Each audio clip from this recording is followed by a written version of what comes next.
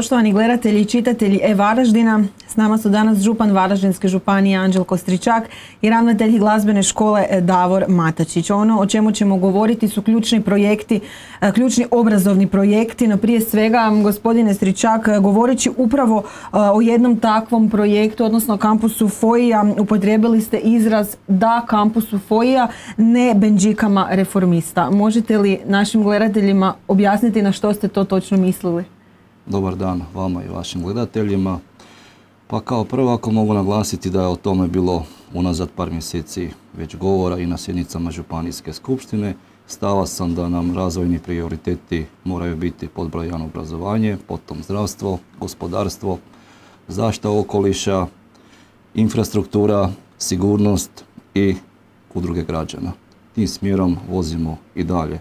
Kad govorimo konkretno o ovoj temi, to je bilo vezano za izgradnju hotela Jupiter, gdje sam preko ovih dva tjedna zamolio bivšeg župana da dostavi dokumentaciju. Dan danas ta dokumentacija mi nije dostavljena, a u arhivi Varaždinske županije o tome nema ni jednog jedinog papira, osim sličica iz mandata župana Štromara. Tako da smatram da je evo lijepo da se bivši župan kiti ili maše sličicama još iz vremena župana Štromara. Kad govorimo o tome da li hotel Jupiter, za kojeg naglašavam nema ničega, nema idejnog rješenja, glavnog projekta, izvedbenog, nema jedne jedine dozvole, stoga mi nije zaista, opet ponavljam jasno, otko tolika drama oko tog projekta, nepostojećeg projekta, kada bi danas trebao birati da li graditi hotel Jupiter ili kampus svoj dvojbe nema i dalje sam stava da FOI mora imati prioritet. Kada se izgradi kampus FOI-a, kada se kroz desetak godina odškoluje na tisuće mladih ljudi, ti ljudi će dati vrijednost kroz tih deset godina desetak hotela Jupiter. I to je ta prednost. Gospodine Matačić, s vama nećemo o politici, nego o dogradnji palače u kojoj se nalazi glazbena škola, e, što je također dio sporazuma za sjever. Koja dva ključna problema e, rješava spomenuta dogradnja? Spomenuta dogradnja prije svega brine o kulturnoj baštini e, grada Varaždina, to je nasljeđe, ta prekrasna arhitektura, palača koja je sagrađena izvan središta, tada izvan središta grada Varaždina i u kojoj danas evo, e, je sjedište glazbene škole u Varaždinu, jedna od najeminentnijih institucija na, na području umjetničkog obrazovanja u Republici Hrvatskoj, i, ali i šire. A s druge strane, e, to je projekt koji otvara dalje mogućnost e, proširenja djelatnosti glazbene škole u Varaždinu sukladno onim našim ciljevima i idejama, sukladno idejama i sukladno u stvari cijeloj toj priči glazbene škole u Varaždinu kao pokretaču, jednom od pokretača kulturnog života grada Varaždina e, jer e, jednostavno svjesni smo situacije da kada je sama škola osnovana 1828. godine i e, kada su Varaždinci u, sklopu muzik Ferajna tadašnjeg Varaždinskog izdvajali ogrijev, davali i dali u najam, odnosno ne baš poklanjali vlastite instrumente da bi počelo muzičko obrazovanje tada Varaždinaca E, na tom tragu mi danas osjećamo da je ovo prijelomni trenutak, da, da su ovo vremena kada će se u Varaždinu, e, kada je potrebno u Varaždinu raditi na tome da se ovoj glazbenoj školi daje još jedan vjetar u leđa kako bi e, pokazala i dokazala svoju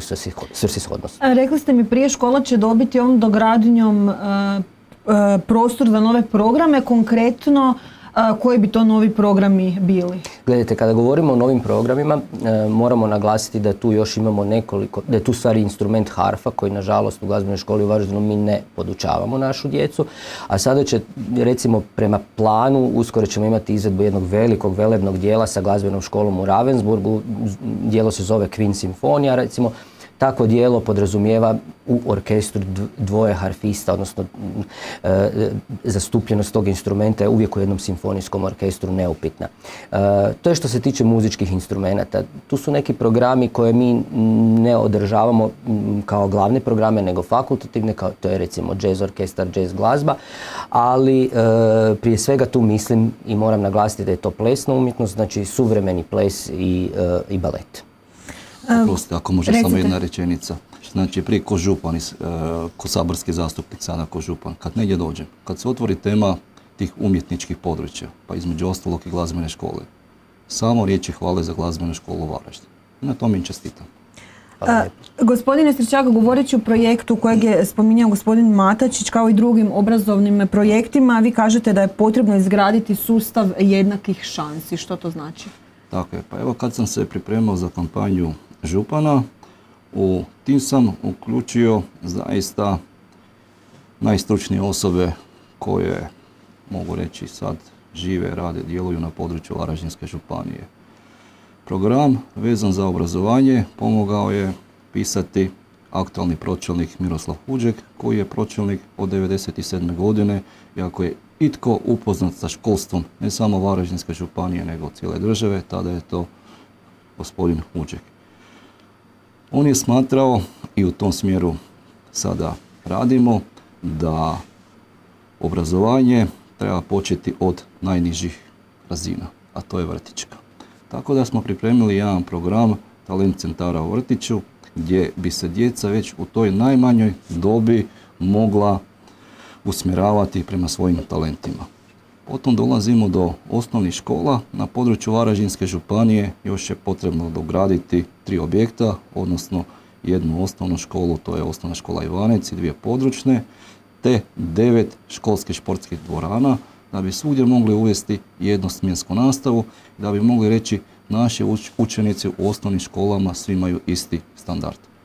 Potom dolazimo do srednjih škola gdje uvodimo programe izvrsnosti, pokazali su se jako dobri i sami ste mogli vidjeti da naši učenici gdje se pojave ne na hrvatskim nego na međunarodnim svjetskim takmičenjima osvajaju medalje i to je upravo zbog tih centara izvrsnosti gdje se omogućava najboljima da još dodatno nadograde to svoje znanje i iskustvo. I naravno još je potrebno izgraditi kampus FOIA i jedan dio u sklopu sveučilišta Sjever za, taj, za to STEM područje i nakon toga smatram da od najmanje dobi pa do izlaska na tržište rada mi smo pokrili sve. Spomenuli ste centri izvrsnosti, upravo se obnavlja dvorac Šaulovec u kojem će se smjestiti naši centri izvrsnosti. Nosit će naziv Europski talent centar. Kako će u praksi ta institucija djelovati? Da, Europski talent centar, centri izvrsnosti Varaždinske županije. Pa mi moramo negdje objediniti te sve centre izvrsnosti. Oni sada pokriva svako područje jednu srednju školu. Međutim, smatramo da je potrebna i nadogradnja. A ta nadogradnja bi trebala upravo se ostvariti u tom dvorcu Šalovec gdje bi ujedinili sve te centre izvrsnosti da izmijene svoja ta neka postignuća, iskustva, razmišljanja i to smatramo da bi tamo bilo primjereno. Znači tamo bi trebao biti spoj znanja, kulture, okoliša i turizma. Gospodine Madačiću, kako naše glazbene talente iskoristiti u smislu e, razvoja turizma? O tome često govorite. Pa da, kultura i turizam su negdje toliko isprepleteni da, da jednostavno nekako idu ruku od ruku a pogotovo ako uzmemo u obzir e, Varaždin i ovaj naš sjeverozapadni dio Hrvatske koji vjerujem da u tom smislu kulturnog turizma e, i igra na kartu upravo e, te baštine, znači kulturne baštine i te izvrsnosti koju je ispominjao Župan Stričak i koju spominje Župan Stričak. Naime, o čemu govorimo? Govorimo o tome da ako uzmemo samo glazbenu umjetnost, evo, mislim da to sad mogu ovoga, dozvolite mi da to uzmem kao primjer, jedan. Trenutačno u u Europi pa mogu reći i u svijetu u nekakvim značajnijim e, kulturnim centrima, hoćete, želite opernim kućama, teatrima, simfonijskim orkestrima, jazz orkestrima, revijskim orkestrima, školama, gotovo da, da, da ćete teško naći e, kuću u kojoj nećete naći nekog od bivšeg učenika glazbene škole u Varaždinu, pa, pa kada i govorimo čak i o muzičkim akademijama, znači visokoškolskim institucijama. To je jedno, to je takvo bogatstvo, to su naši najbolji ambasadori u svijetu i e, konkretno u tom smislu mi smo mi smo iskoristili te neke naše prednosti i nedavno smo pokrenuli naša međunarodna natjecanja. Znači, jačamo taj kulturni turizam, stavili smo Varaždin na kulturnu kartu Europe u smislu e, umjetničkih natjecanja i e, u vrlo kratko vrijeme smo dobili jedan prekrasan e, odaziv u smislu da se nama na puhačko natjecanje usred sada ove korona situacije odazvalo skoro 400 e, kandidata. I kada gotovo da u radijusu, radijusu od 500 do, do 700 km u, u kriznom razdoblju vi ne možete naći instituciju umjetničku, obrazovnu s koje nam nisu došli natjecatelji na natjecanje u Varaždin, u našu palaču Erdedi, sa sobom doveli vjerojatno i roditelje, profesore. I to je, e, a, a onda usput budimo, e, budimo, budimo, moramo reći i odradili jedan prekrasan uh, nastup i, i, i, ostavili svoj trag u našem gradu. Dakle, to su nekakvi primjeri koji, koji sigurno mogu pridonijeti da se Varaždin u tom smislu i, i naša regija, odnosno županija postavi kao, e, e, kao predvodnica kulturnog turizma jer ono, je, e, jer ono danas ima izuzetni, izuzetni odjek kod, kod, kod ljudi, kod građana diljem svijeta.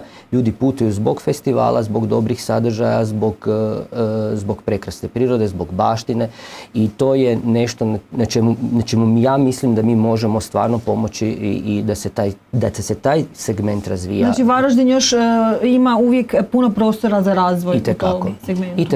Itekako kako nedavno sam bio upitan od e, predstavnika Hrvatske glazbene mladeži konkretno da li Varaždin može primiti jedno muzičko natjecanje, olimpijadu sa preko tisuću i nešto sudionika.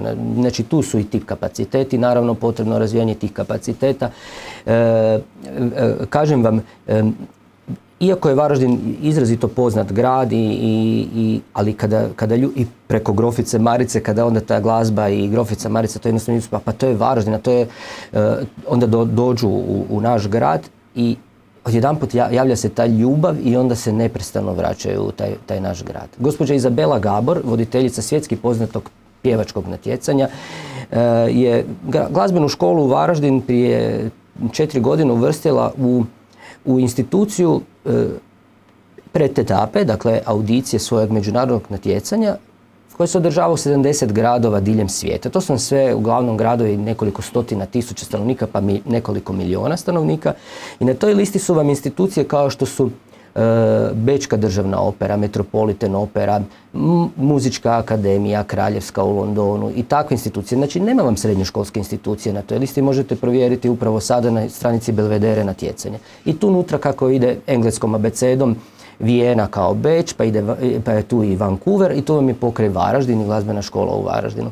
Dakle, to, to su neke stvari koje stavljaju Varaždin u top poziciju, baš ono svjetsku i trend je upravo finale konkretnog natjecanja koje sam spomenuo je ove godine u Jurmali u Latviji, to je, to je latvijska, da se tako izazovem, opatija na Baltičkom moru jer e, i koja će privući sve velike agente svih svjetskih opernih kuća na dva tjedna u, u tu sredinu, u taj grad.